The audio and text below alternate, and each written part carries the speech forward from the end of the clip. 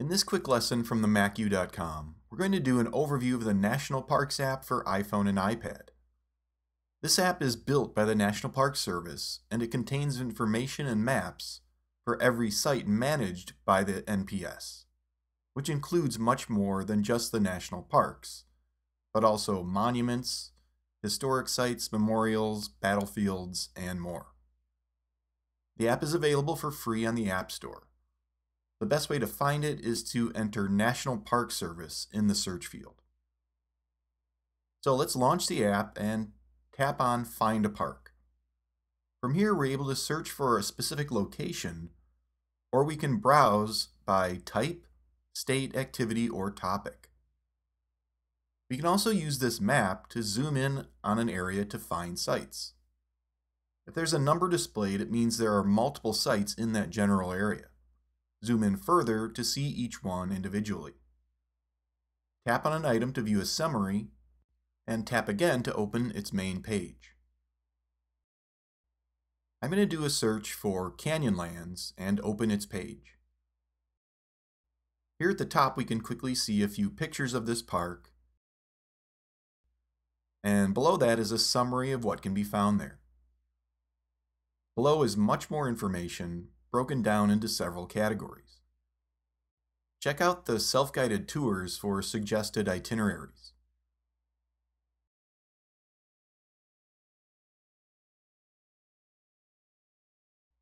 Under Information, we can view general weather details broken down by season,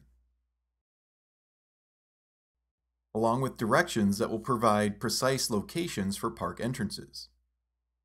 Canyonlands has multiple sections, so we have a few options here. Tap to get directions and maps. Overlaid at the bottom of the display is a Park Map button. This is a digital version of the park map that is handed out at the entrance of most parks. It's extremely helpful to have with, and when in the park, this digital version will display your location on the map as well. These are topographic maps that display trails along with roads, which means you can track your progress on a hike, or you can see how much of an uphill climb remains.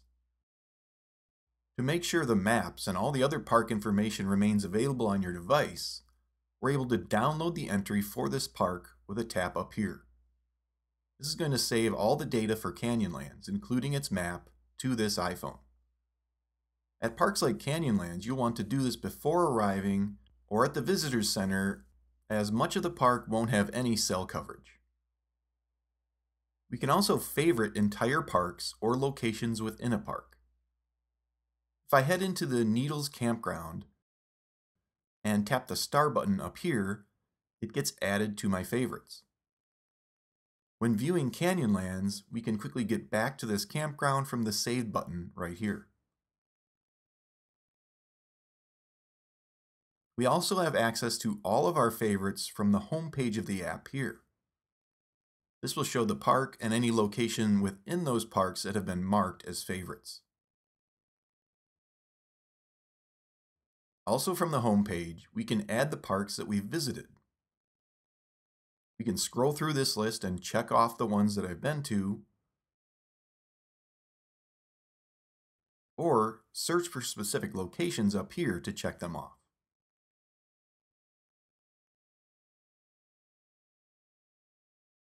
It's now possible to buy digital park passes from within this app.